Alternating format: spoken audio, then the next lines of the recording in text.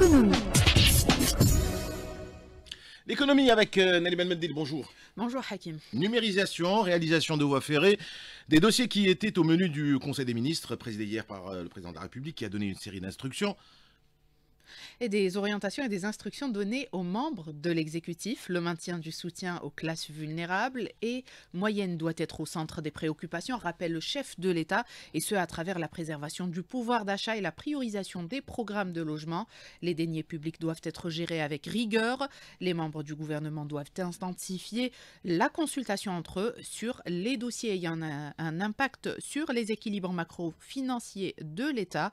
La réunion apporte une nouveauté concernant la transition numérique. Un data center sera réalisé par l'entreprise chinoise Huawei.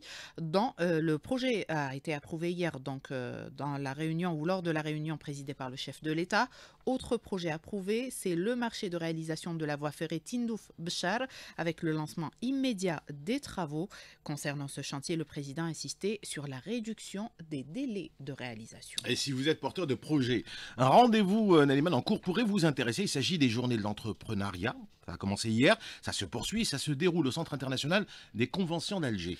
L'événement permet aux jeunes porteurs d'idées de projets de découvrir des expériences d'autres jeunes Algériens qui ont relevé le défi, le défi et créé leurs entreprises, mais également de rencontrer des investisseurs, des bailleurs de fonds ou encore des conseillers qui leur permettront de dépasser les entraves et de concrétiser leurs projets.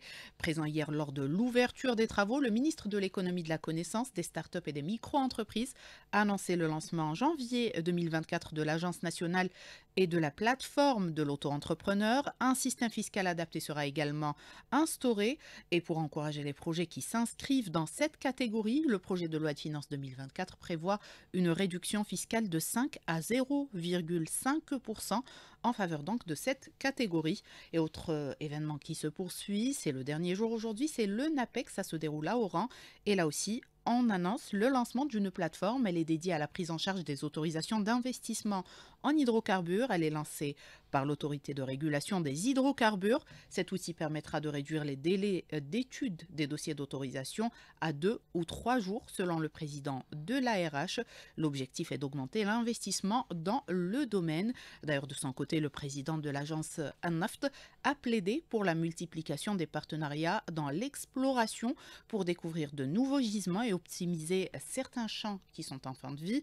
L'objectif est d'augmenter donc la production et de, pour faire face à une consommation locale en croissance de 3% chaque année, tout en gardant le même volume d'exportation.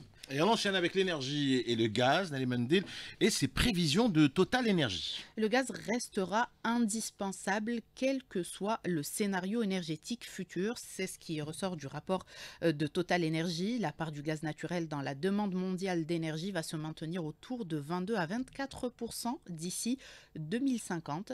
La multinationale affirme que dans le scénario le plus délétère pour le climat, le monde lève le pied sur le pétrole et le charbon, mais un peu seulement et pas du tout sur le gaz. La part des énergies fossiles dans l'énergie mondiale passe de 80%, chiffre stable depuis 2020, à 70%. Toujours concernant le gaz, la compagnie américaine Chevron a annoncé la reprise de l'approvisionnement de ses clients en gaz naturel du champ gazier offshore de Tamar en Palestine occupée après cinq semaines d'interruption.